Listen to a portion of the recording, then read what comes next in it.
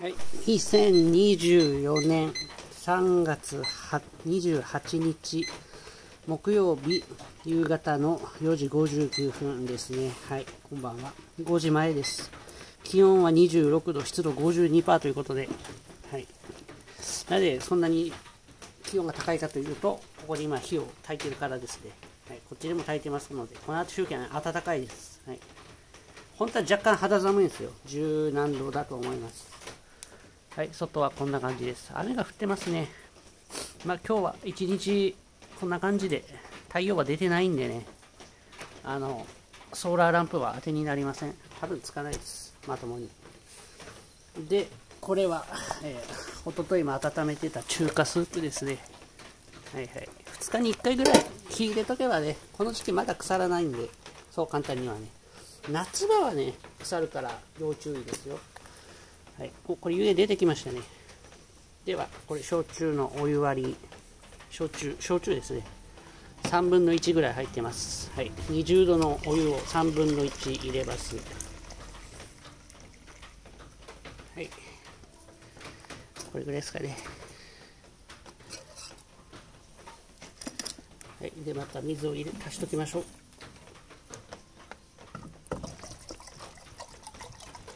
よいしょ。今日のね、日経平均株価は、あれです。あの、昨日がね、配当の確定日だったんですよ。権利確定日ってやつ。昨日株を持ち越して、今日まで持ち越したら、昨日、あ昨日か。昨日株を持ち越したらね、配当金がもらえるっていう日が昨日です。なので、翌日は売られやすいんですよ。直前で買われるんでね。で、配当落ち金額は日経平均換算で250円ぐらいだと思われて、まああの言われてまして、この250円は下げはもともと想定されてたんですけど、今日、場中はね、それよりさらに下げて、さらにそこから350円ぐらい下げてね、600円近く下がりましたね。売り方向だったみたいです、今日は。はい、まあ、こういうこともあるわなということで。まあ、ただ、4万円台はまだ維持してるんでね、明日からの取引もちょっと注目じゃないでしょうかね。まあ、この間まで4万円切ってましたからね、株価。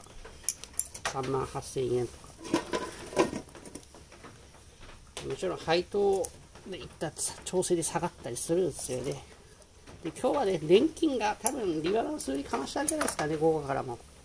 年金期間っていうのが、GPIA っていうのがあってですね、あの国内株式25%外国株式25%国内債券25%外国債券 25%25% 25ずつという感じでこう割り振ってるんですよ。年金あの国民から預かっている資金はね年金資金。で2000年ぐらいから運用してるみたいです。でこの運用益はねめちゃくちゃプラスです。はい。GPIF はいい仕事してます。はい。投資でうまくいってる巨大な機関が GPIF、日本のね、年金なんちゃら機関じゃないですか、ね、なんていうか覚えてないですけど。で、ここがね、25%ずつと言えば私言いましたけど、例えば日経平均株価ずっと上がってきてるんで、この25%の比率が変わっちゃうんですよね。株価が上がってね。で、国内株式の比率が多くなってしまう場合はね、株価が高いんで、まあ、額が大きくなりますよね、株価が上がってる。なので年金期間はね、このバランスを取るためにリバランスっていうのをするんですよ。だから上がってる時は、売られやす売り、売りたくなっちゃうってことです。その GPIF はね。この25%ずつっていうのが変わらない限りは、年金期間はね、この GPIF 定期的に売りを出します。はい。その売りが午後とかに来たんじゃないかなと思いますけどね、まあわかんないけど、あと年度末っていうこともあって、もう今日と明日しか取引もないしね、売られやすい環境が整ってたみたいな感じですかね。はい。まあ、でもこれは新聞明日読みに行くんでね、そこでちょっと確認してきます。市場関係者の言うことの方が私が言うことよりね、正しいんで、私は何の関係者でもないですから、何の情報もない。新聞からしか情報は得られない。趣味からだけではないけど、今、インターネットありますね。情報源自体がいっぱいあります。はい、あと、雑誌もね、読みてますよ。四季報はね、あのね、読めないよね、あんなにいっぱい。どこ読めばいいかわかんない。いや、巨大な木だな、それにしても。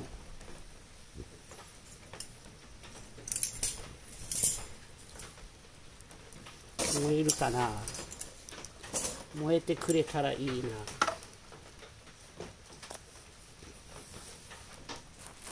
よいしょ。というわけで、はい、今温めている最終ですが、お湯割りいただきましょう。はい。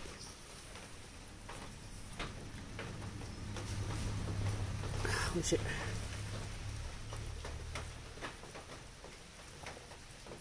まい。お湯割りおいしい。は、はい。温まりますね。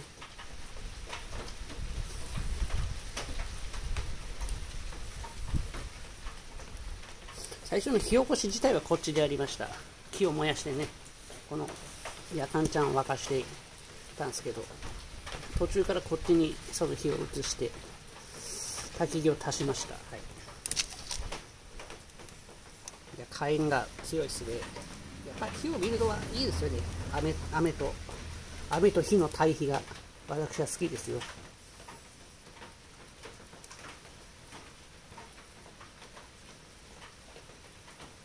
ちょっと今日これちょっと食べようと思うんでスープで。ちょっとタレ持ってきます器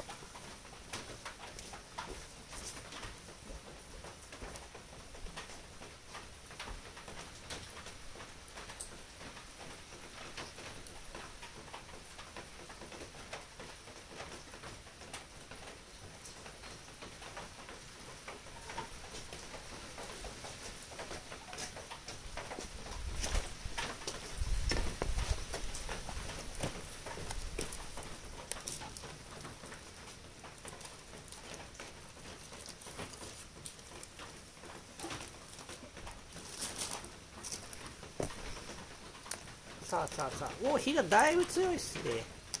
これもう一気に炊き上がるんじゃないか。ああポコポコしてきたねやっぱり。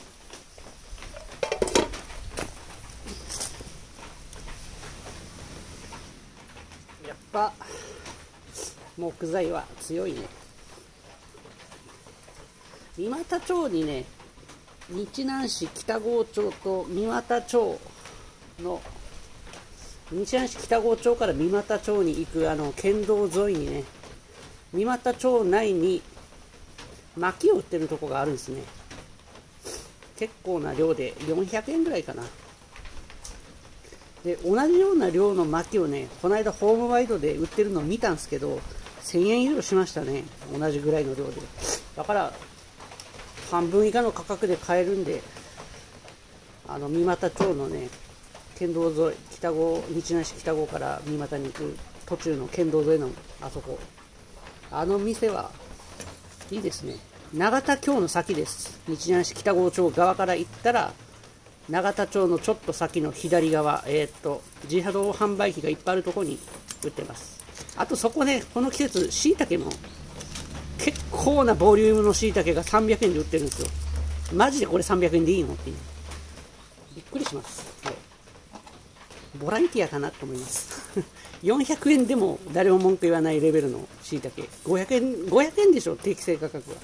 5600円ってとこかな。倍倍してもおかしくない。600円しても。立派なしいたけなんですよそれがまた。この店おすすめです。えっ、と都城市側から行くと都城市から三股町に行って永田町に着く直前ぐらいの右手ってことです。だから。都城市側から行くとね、はい、で私の場合はね薪は庭から取れるんでねまだ全然消費しきらないですよ。庭木がねここまだまだここもいっぱいありますよね。全然減らない。全然減らない。もちろんここにもまだいっぱいあるという。これ庭から取れたやつですよ全部。こここは違います。その三股町から買ってきた私の友人のね、トナカイ君が買ってきたやつです。ここだけ。この、この一帯だけは。こっちはね、私の家の庭から出たやつです。はい。家でまた木もいっぱい切りましたし、あの、この家の裏にあるんですけど、あれもねまた乾燥したらもやしと材料にできますしねでこの木も切らなきゃダメだしこの木も切らなきゃダメだしで燃料にはしばらく多分事欠かないですねただこの木はね切って最低半年は寝かして乾かさないとね燃えにくいんで生木はね生木は燃えないですよ実は。乾燥させないと。これもだからこれはもう2年前ぐらいに切ったやつかな。ちょっと覚えてないですけど。最高でも9ヶ月は経ってる。あ9ヶ月前に切ったやつだこれ。6月頃切ったやつだな去年の。だから9ヶ月は寝かしてるんでもう大体燃えます。サイズ的にも乾きやすいサイズですし。ここでやつはも全部乾いてます、はい、だからいつでも燃やせる。木がねいっぱい外に落ちてたんですよ庭にね。捨てるのも本当お金かかるからね。この中見てる燃やして処理するのがっていうか食べ物を作る時の燃料にするのが一番何も無駄にならない消費の仕方。はい。あもう煮えたぎりました。はい。はいはいはい。グツグツやってます。グツグツグツ。グツグツグツグツグツグツ。グツってね。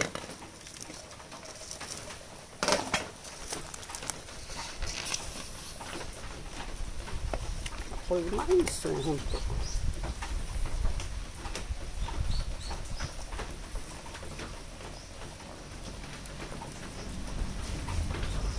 炊き出しのスープ。みたいな豚汁的な材料入れても美味しいと思います、はい、こんにゃくとかね。里芋入れても美味しいと思いますよ、まあ、ただソーミシャンタンのスープなんで中華味です。じゃあ直していきましょう。これはもういいんでね。火は通りました。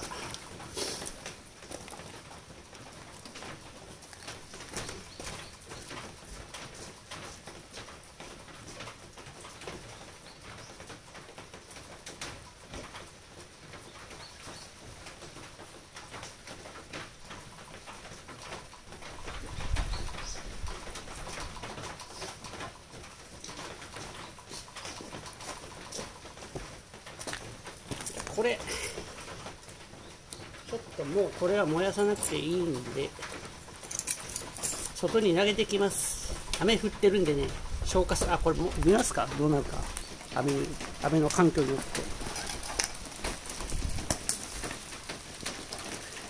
ああなるんですな。こういうのあんまねやったことないんじゃないですかね皆さん。私もやったことないですよもちろん。雨が降ってるから自然に沈下される。自然沈下。でこれ沈下したらねまた燃料として使えますからね。はい。このちっちゃいやつは七輪ちゃんに入れましょうかね。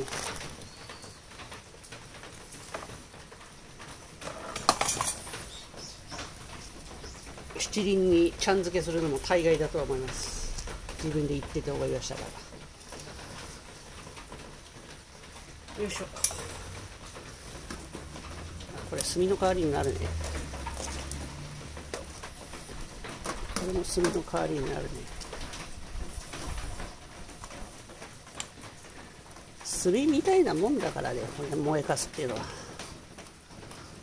い、あとは自然に消えてくれるでしょう。おそらく。炭もこうやって使えばね節約できるんですよね。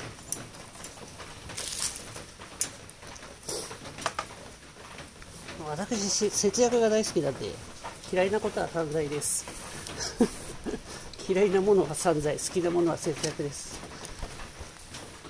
はい、あちらもいい感じに沈下していってますね。まだでもついてるね。これを眺めてくの結構楽しいですよ。雨の日じゃないとできないやつ。自然沈下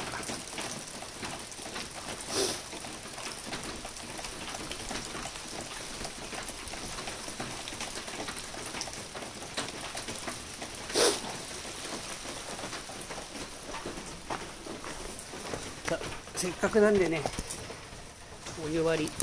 飲みつつちょっと中華スープを食べて終わりましょうかね。動画的には。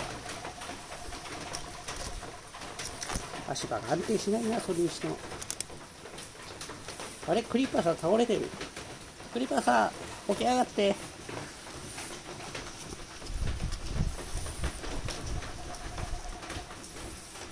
はいいただきます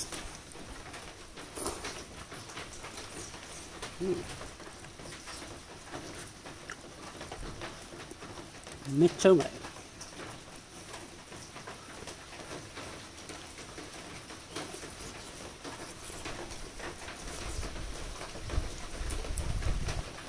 人参もすごく美味しい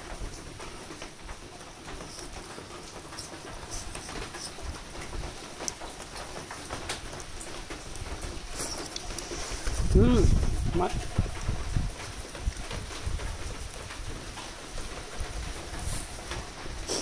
これ私が差し入れするあの親戚のおばば様の家に差し入れする中ではこれが一番評判がいいです。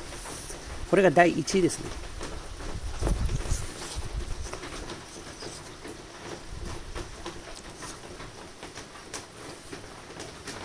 あった。バナメイエビちゃん。バナメイエビ。美味しいですよね。うん。まだ入ってた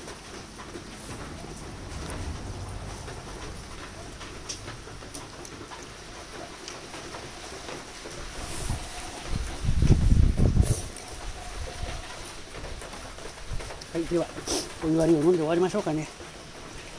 お湯割りちゃん